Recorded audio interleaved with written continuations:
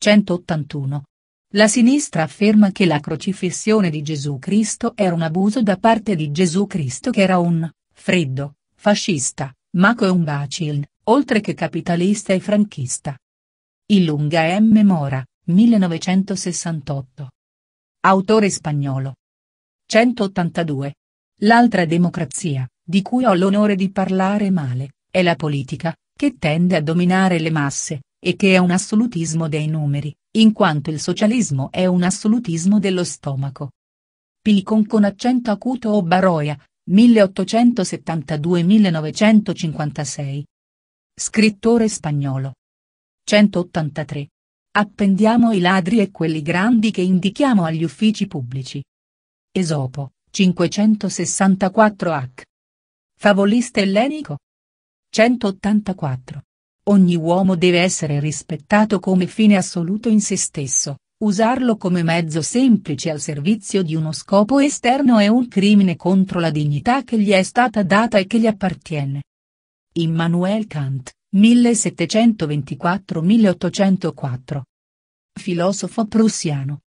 185. La massa provoca l'individuo che si distingue, dall'invidia, dallo straniero, nella conquista o nella difesa, dalla stupidità o dalla sopravvivenza genetica. Questo attacco costringe la sublimazione ad aumentare l'invidia in un circolo vizioso che finisce con l'esaurimento, la morte o l'imposizione vittoriosa sulla massa oppressiva. Illunga M. Mora, 1968. Autore spagnolo. 186. Il moderno Stato democratico non è altro che un totalitarismo e la democrazia è il nome del partito con cui manipola questo Stato totalitario. Vuicon con accento acuto Dr. R. Azuage, 2018. Blogger venezuelano. 187. Gran parte dell'antipatia collettiva per l'individuo deriva dalla paura. Soprattutto nei nostri paesi del sud. Gli individui forti sono stati irrequieti e tumultuosi, le mandre sopra, come quelle sottostanti, non vogliono che i semi dei Cesari o dei Bonaparte fioriscano nelle nostre terre.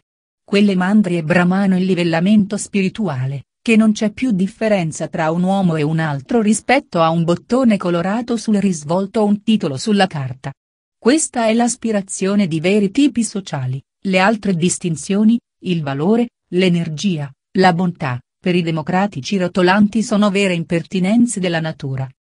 Pilicon con accento acuto o Baroia, 1872-1956. Scrittore spagnolo. 188. Attualmente, le richieste delle masse stanno diventando sempre più definite e tendono a distruggere radicalmente la società attuale, per condurla a quel comunismo primitivo che era lo stato normale di tutti i gruppi umani prima dell'alba della civiltà.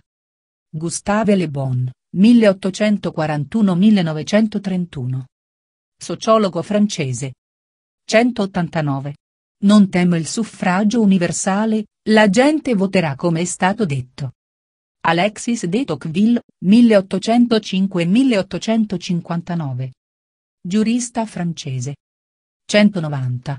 Il suffragio universale è una vergogna dello spirito, uguale o peggiore del diritto divino dei re o dell'infallibilità del Papa.